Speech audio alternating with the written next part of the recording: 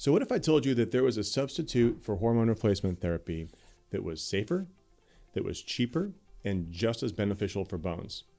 Would you want to buy it?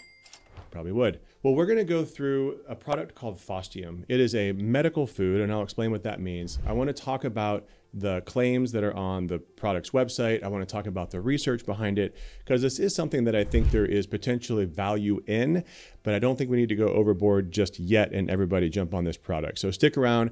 We're going to go through all of this stuff, hopefully, pretty quickly.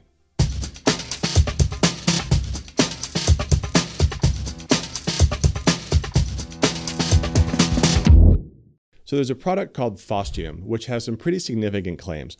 On the website of the product, it claims to increase spine bone mineral density by 20% and femoral neck by 16%. Those are pretty big claims.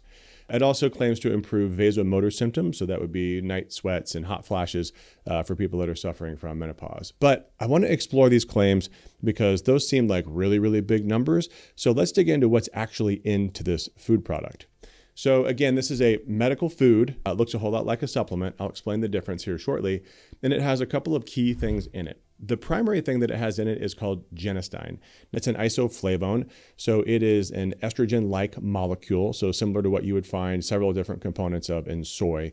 And genistein has been studied actually in a, a number of different ways for both bone health and uh, symptoms of menopause. So there's some re reasonable evidence behind it, but that's the main ingredient here. Other things that it has in it is phosphate, uh, zinc bisglycinate, uh, vitamin D, and uh, vitamin K2 is MK7. Now, one of the things that I'm going to get into here is the the claims and the information available on the website and how I find them to be frustrating as a provider and I would also find them to be frustrating as a consumer because when you look at this list of these things that are in it it describes what they are but it doesn't tell you how much. So I actually had to look pretty deep to figure out how much of these things are actually in it, and I was able to find it. So it also has calcium in it, and calcium as calcium malate and a little bit of pentacalcium hydroxide triphosphate. So kind of a new one for me.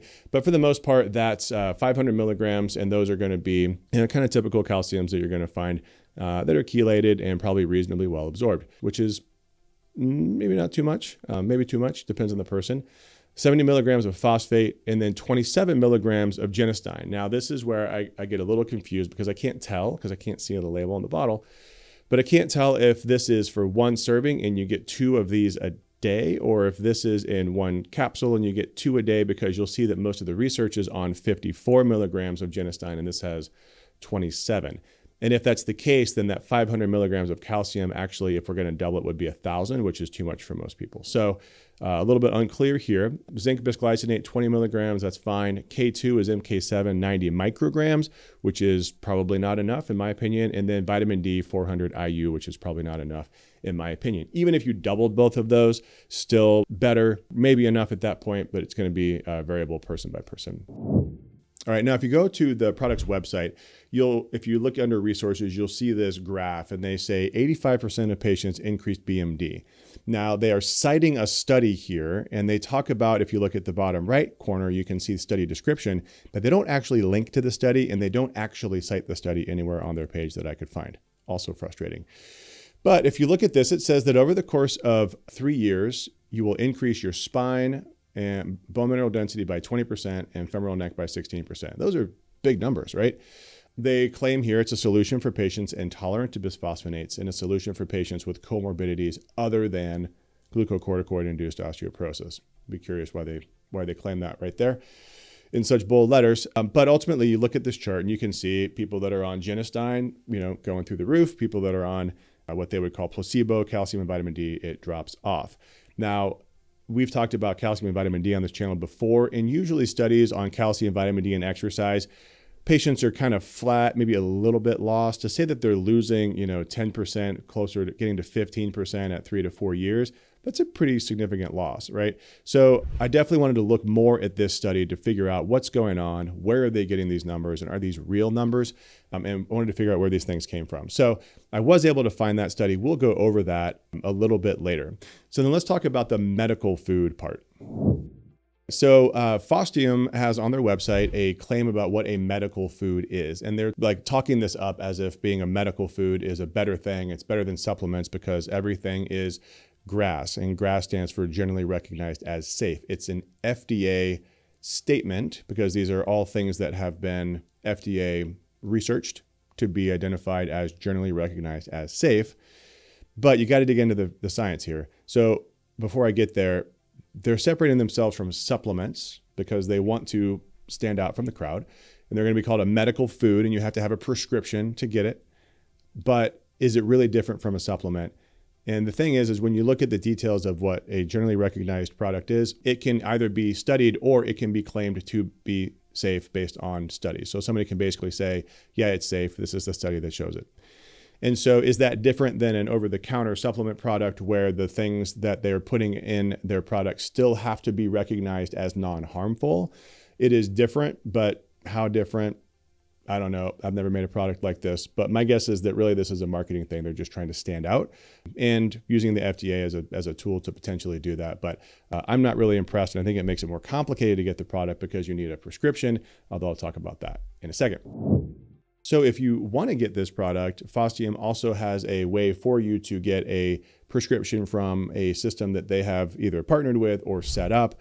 And it talks about, uh, you know, Medicare is included and everyone can get this and it's $44 a month. And, you know, that's actually not very expensive from a, a, quality supplement perspective. So maybe this is a, a really good thing. They're trying to, to uh, provide this for folks.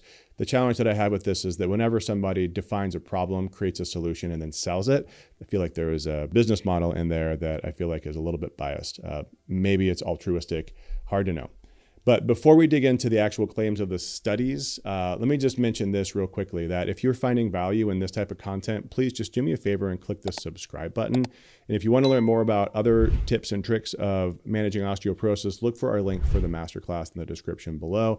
Uh, totally free to you, opportunity for you to ask us questions and listen to me walk through kind of the research and some of the basics about how we manage osteoporosis and how you can do a lot of these things on your own at home. All right, so let's dig into this research. So the first trial that I have here is from 2007. I think this is the study that they quote in here, although I have some questions about that. Again, they didn't cite that study, so I had to go find this, but they did mention that there were 389 women and that it was a randomized placebo-controlled trial. So I found a study from the same year that had 389 women that was a randomized placebo-controlled trial. I'm assuming it's the same one. What's interesting about this study, though, is that it only goes out for two years, and their chart on the website goes out to three years. Maybe I'm missing something. Maybe they did a follow-up study, but again, this was studied. This was published in the same year, so I don't know. Uh, but it was an interesting study because it had again 389 women reasonably well designed. It had two arms. It had a placebo arm, and the placebo arm was calcium and vitamin D. And then it had a genistein arm, which was calcium, vitamin D, and genistein, but again at the 54 milligram dose, not 27 milligram dose. I actually had to, to find the article, and then I had to actually get behind a paywall. So I had to pay to get this article to look at the data, which is also frustrating for me because I feel like this should be made publicly available or relatively easy access. And I have access through multiple institutions, and yet I still had to pay directly to get this article. So I was able to find the data, and here's what these data show.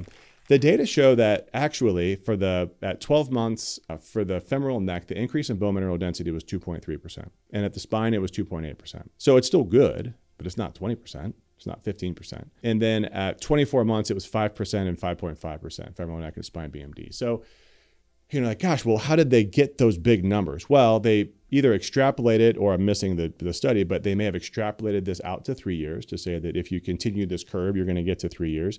And then they also looked at the difference between their improvement on genistein and the difference between this and placebo, meaning that not from zero, but from placebo, because placebo was getting worse. And I already mentioned that placebo got like oddly worse, right? In the calcium and vitamin D group, they lost 2.4% of the hip in 12 months and 5.5% at the hip in 24 months. That's a big drop, actually. So I wouldn't expect that uh, somebody who isn't who doesn't have some cause, secondary cause of osteoporosis to lose that much bone. Same thing, spine 3.3 and 6.3% in 24 months. That's a big drop so then uh, so that got me thinking about why would this group do that if they were on calcium and vitamin d and i have a thought but before i get there i wanted to mention that the negative side effects and the dropout rate from this study were pretty significant so the side effects from taking this product were uh, close to 20% they, they rated a 19% uh, GI side effect rate, so there's uh, upset stomach, nausea, etc., um, and the dropout rate of almost a quarter of the people in the study. So uh, a quarter of people is uh, pretty high. You always lose people, but 24% is pretty high.